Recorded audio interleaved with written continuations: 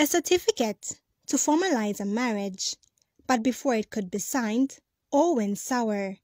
Seconds before this couple could be pronounced husband and wife, the woman's husband of 20 years showed up.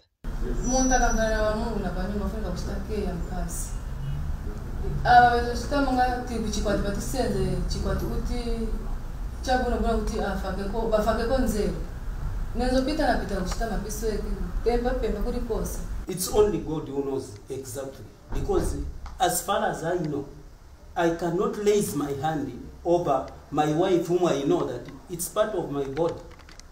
Me, I only hate behavior mene alinayo abakazi out.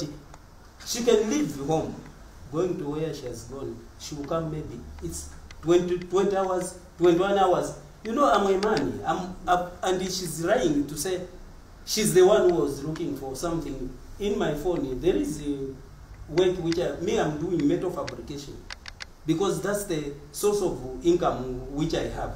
However, the would-be husband also claims that he has been in a relationship with the woman for five years. He has an explanation of what he has called year-old relationship with the woman. Now, nawe madezi yonse yamere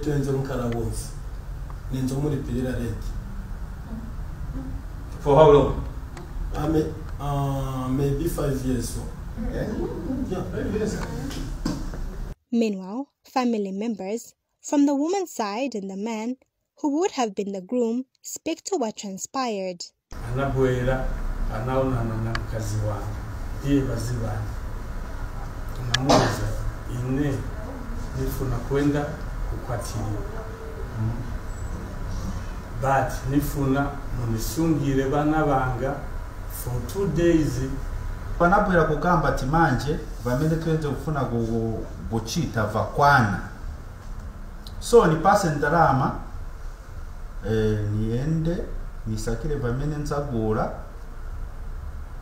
then tuzakwatirana The marriage registrar has cancelled what would have been a consummation of marriage. And Lusaka City Council Public Relations Manager uh, Chola uh, Mwamba has urged citizens to abide by the law.